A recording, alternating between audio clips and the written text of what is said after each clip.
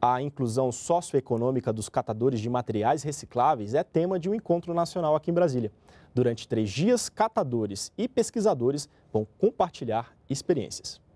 Nesta cooperativa, localizada na Vila Estrutural, a 20 quilômetros de Brasília, trabalham 38 catadores, que separam 70 toneladas de material reciclável por mês. O presidente do grupo é José Carlos, de 25 anos. Para ele, o trabalho é um meio de sustentar a família e contribuir para a preservação do meio ambiente. O material que era jogado nos rios, que ia para nossas torneiras, Hoje não vai mais. Com esse processo aí, diminuiu muito o rejeito, muito material que era jogado na terra, hoje está sendo reaproveitado, voltando em forma de novos materiais.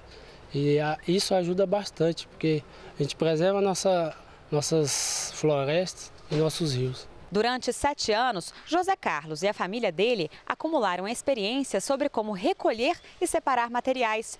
Enquanto isso, pesquisadores de todo o país estudam maneiras de ampliar o aproveitamento de resíduos sólidos. O governo quer aliar o conhecimento prático ao teórico e, assim, preservar ainda mais o meio ambiente e dar mais condições de trabalho a esses profissionais.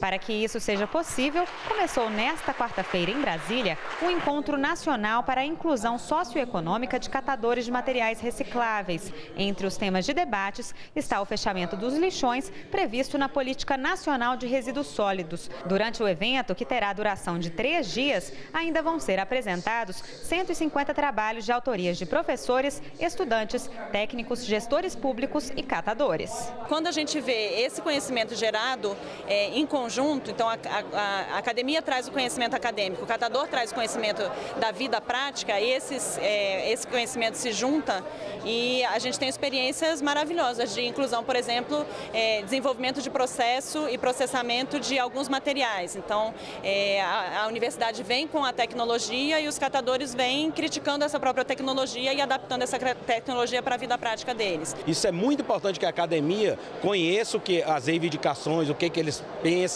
sobre o assunto, mesmo porque a gente criou uma lei agora que tem que acabar com os lixões e vai ter que ter uma mudança estrutural nesse segmento.